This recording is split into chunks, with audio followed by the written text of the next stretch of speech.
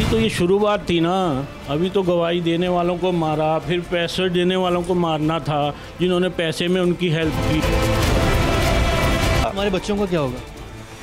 अच्छा एक तो रह गया एक तो बहुत हो गई है। अब एक रह दानिश क्या होगा?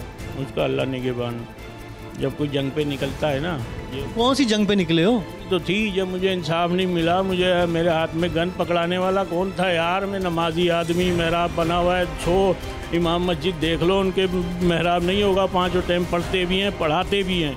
आप ये खिचड़ी तुम्हारे पर पाँचों वक्त नमाज़ का क्या असर हुआ कि जिसका तुम्हारा दिल चाहा तुमने उसको जाके गोलियाँ मारना शुरू चाहा? दिल चाहता तो मैं तो बचपन से ही मारना शुरू कर देता।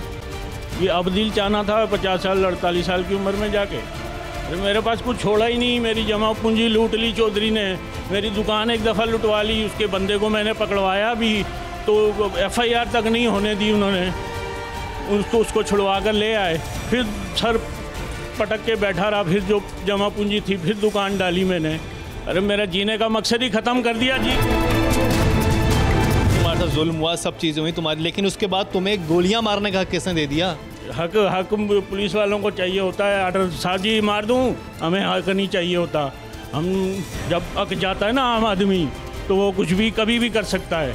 जब उसके मकसद ही जीने का छीन लोगे तो जीकर करेगा क्या? मरता तो अच्छा था।